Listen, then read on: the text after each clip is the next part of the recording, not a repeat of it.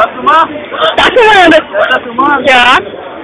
Eu, por mais que eu esteja arrependido por antecipação, eu gostaria de fazer isso em homenagem ao meu amigo Hélio. Uma pessoa muito querida de nós, as principais clientes de nós. Nesse momento, ele está falecido, você está estruído, não porra nenhuma. Ai, vai. Pô, merda. Caraca. Ei, papai, mamãe, orgulho. O três, dois, dois, três. Cala a boca dele.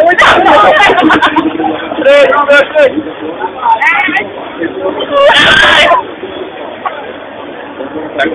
Ai, Foda. Ai, Deus, meu pai.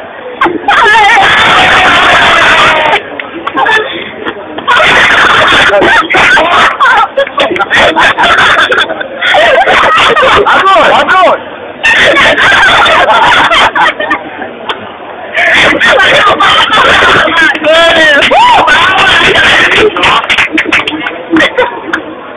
Botei aqui a moça. Pegou.